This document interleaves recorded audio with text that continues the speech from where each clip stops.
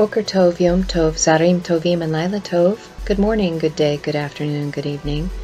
This is Carrie, and I'm going to speak from my heart in a place of pondering. Something that I am pondering that I wanted to share with you. What if materialism is also connected to our bodies? Those of us that choose the spiritual path do not focus on the material realm, meaning that we do not chase after possessions when we have a rightly relationship with them. But how many of us still cling to our flesh as that has been manifested in the material realm? The flesh is what operates in the matrix in order to have an experience and to attach to the narratives that we play our part in our roles in the drama. So the flesh is still part of the material realm and the masks that we wear.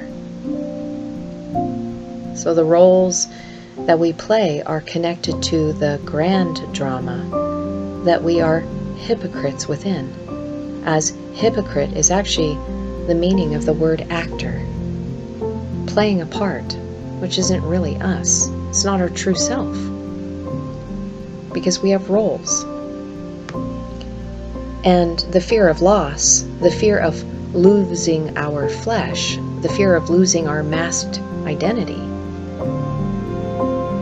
is that which hinders us from being our authentic self. The ego needs a role to play in these narratives that have been created for us for our amusement and or our learning. Light has no ego. It just is.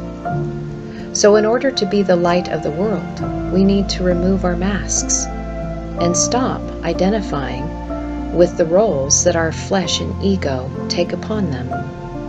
Because we are so much more than that. Light is. We are, as is, light. So embrace the light and not the flesh. This is when we truly free ourselves from the ego matrix identity. You are not what you wear. You are not your flesh suit. You are light and love, having an experience. We are one light, one love. We are one. Shalom, shalom, and namaste.